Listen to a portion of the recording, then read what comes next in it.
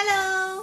Welcome to my channel. I'm Lorna Yo and today's sharing is about the Bridge to Gold reward from Young Living, which is the Premier Aroma Collection that comes in a bag like this, a beautiful bag with 120 bottles of amazing essential oils.